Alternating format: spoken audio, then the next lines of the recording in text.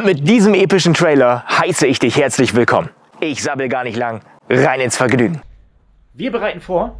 Heute wird ein spannendes Video. Das nächste übrigens auch mit Thorsten. Der ist überhaupt nicht darauf vorbereitet, gefilmt zu werden. Das Teil zeige ich jetzt noch nicht. Das wird dann irgendwann mal vorgestellt. Aber das wird heute gezeigt. Ah, das löchrige, löch, löchrige Ding hier.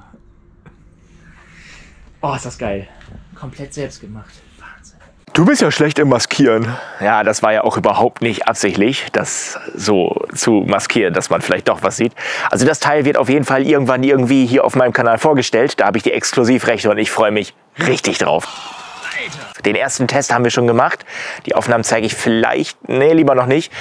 Ähm, da müssen noch so ein paar Sachen perfektioniert werden. Und der liebe Thorsten hat mir zugesichert, dass ich das auf meinem Kanal als erstes zeigen darf. Ich freue mich drauf und vielen Dank, Thorsten. Bevor die Worte nun aber ausarten, würde ich sagen, Let's Play RC Farming.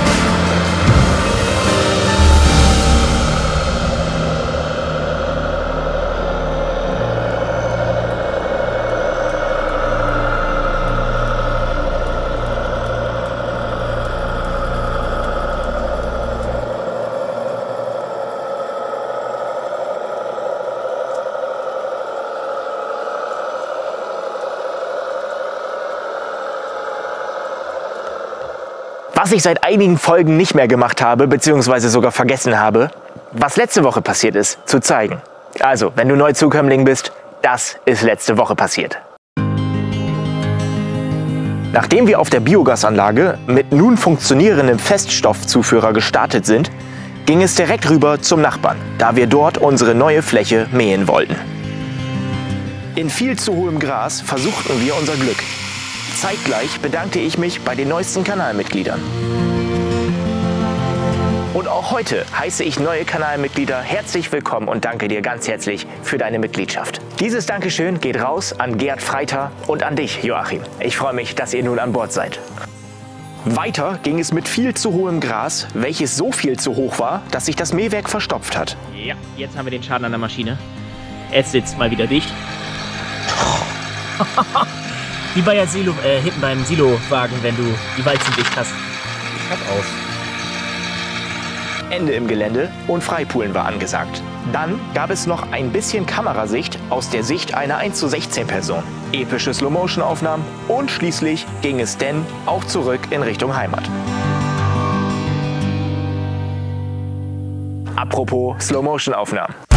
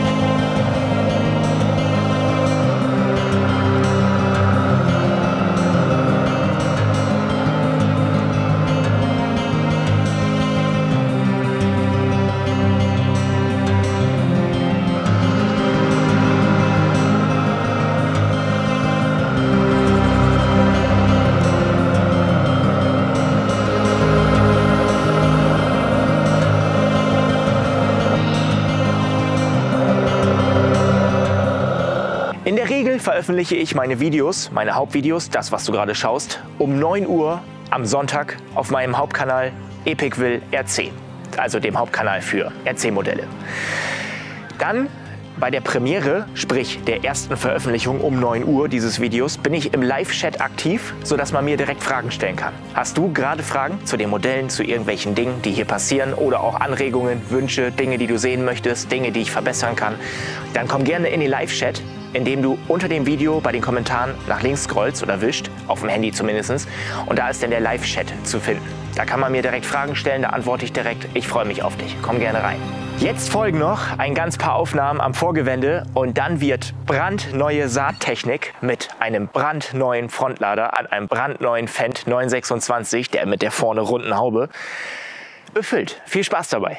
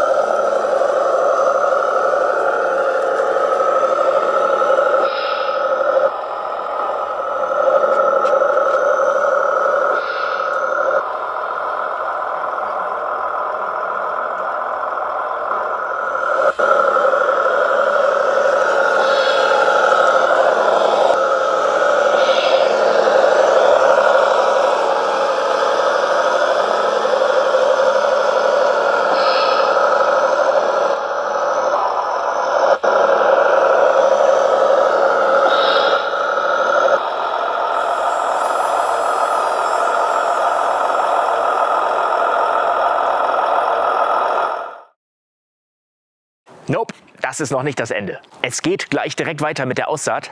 Das möchte ich euch nicht vorenthalten, aber ich möchte auch nicht die Kommentare vergessen. Also, los geht's. Der erste Kommentar von Daniel Gloger 9970. Oh, Sternchen, also auch ein Mitglied, Kanalmitglied. Vielen Dank für deinen Beitrag. Ich freue mich richtig darüber. Jan, mach weiter so. Äh, ja, mach weiter so. Die Videos sind immer klasse. Auf den Häcksler bin ich am meisten gespannt. Ich auch.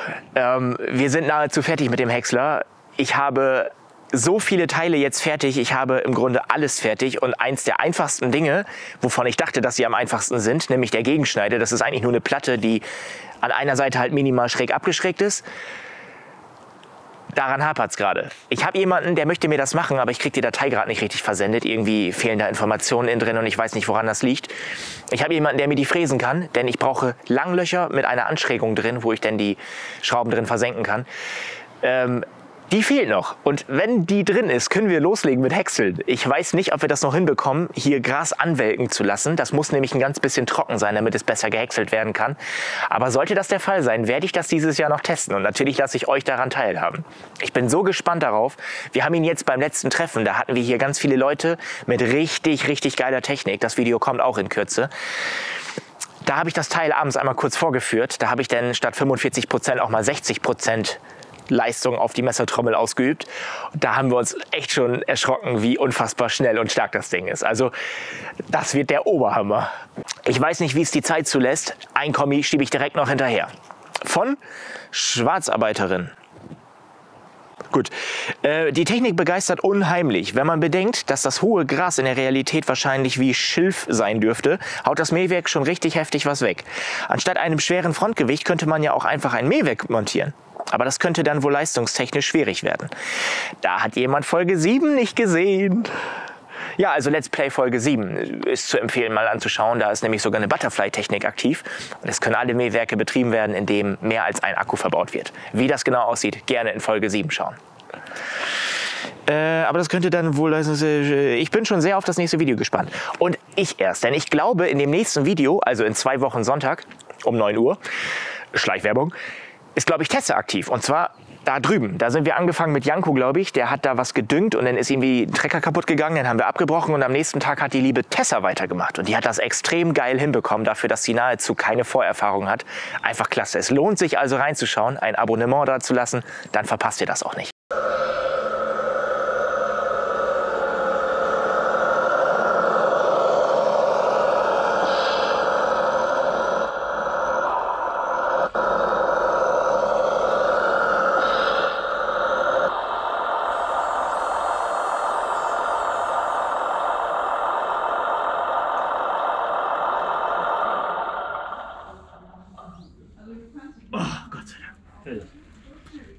Hammergeil. Das war Teil. Anhängen oder ranfahren? Da bau mal so an, das passt. Das machen wir jetzt nicht so lang.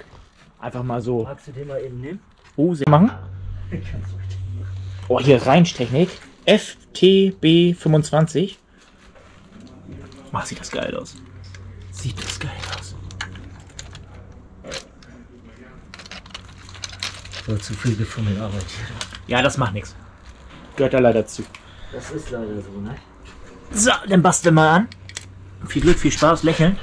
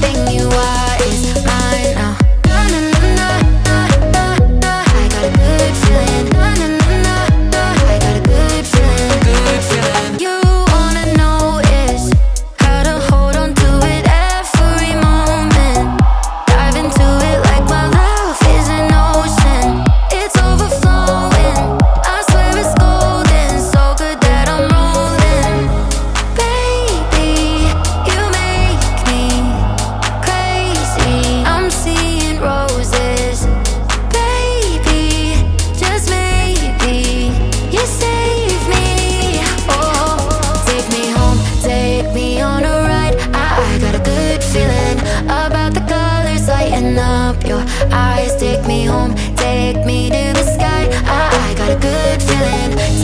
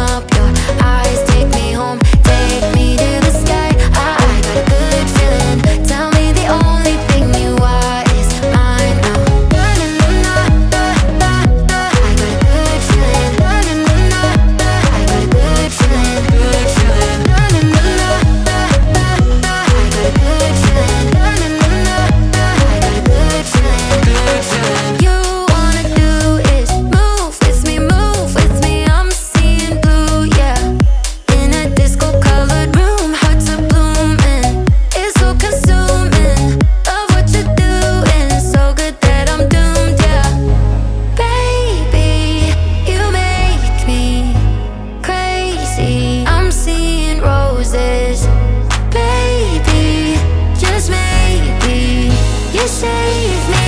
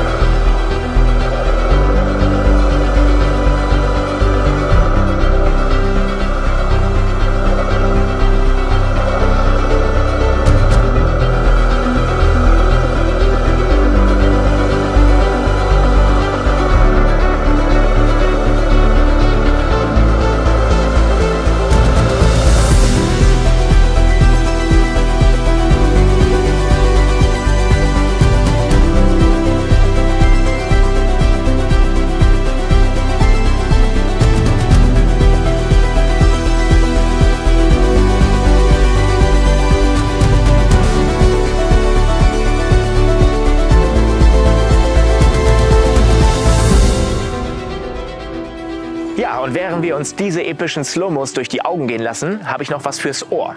Den nächsten Kommentar. Äh, von Maximilian Wittke. Ich mag deine Videos. Würde mich gerne freuen, wenn du eine IAC bauen würdest. Ich selbst werde wahrscheinlich niemals eine IHC, bauen, einfach aus zeitlichen Gründen. Heißt aber nicht, dass ich die nicht geil finde. Und da ich die geil finde, freue ich mich umso mehr, dass ich jemanden sehr, sehr gut kenne und auch als meinen Freund betiteln darf. Der ist auch schon hier mitgefahren. Auch in den nächsten Folgen, die noch kommen werden, wird dieser EHC gezeigt. Und zwar hier auf der Anlage mit einem coolen Anhänger. Und nächstes Frühjahr sehr wahrscheinlich mit einem noch viel, viel coolerem Anhänger dahinter, nämlich zum Silieren, einem Drehschemel. Aber mehr verrate ich noch nicht. Erstmal hier ein paar Einblicke von dem IHC.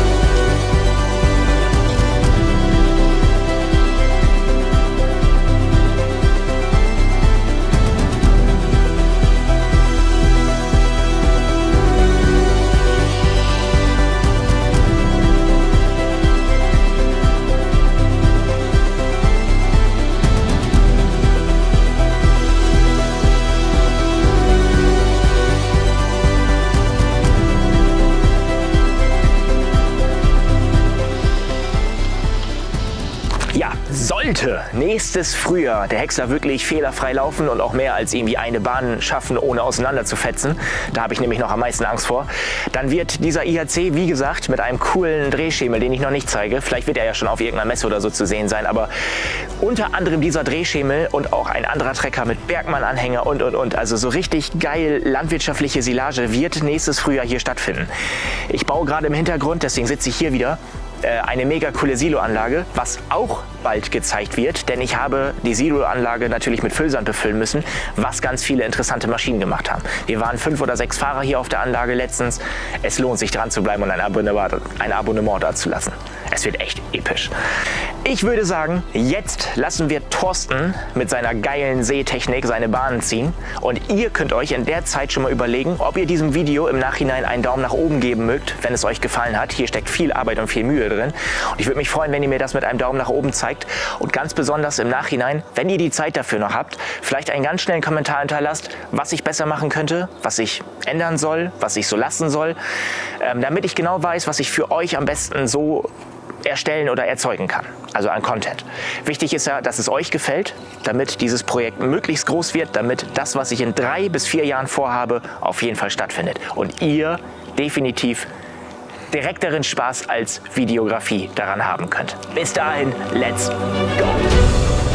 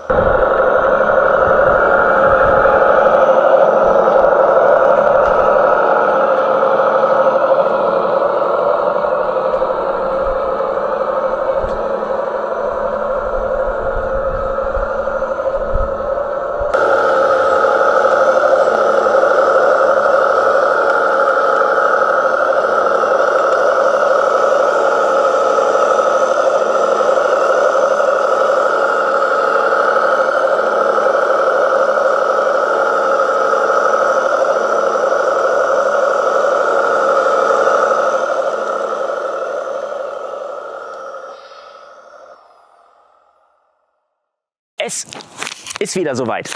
Das Ende naht, also das Ende des Videos naht. Ich freue mich riesig, dass du hier äh, bis hierhin geschaut hast und damit deinen Support gezeigt hast, dein Interesse gezeigt hat, hast.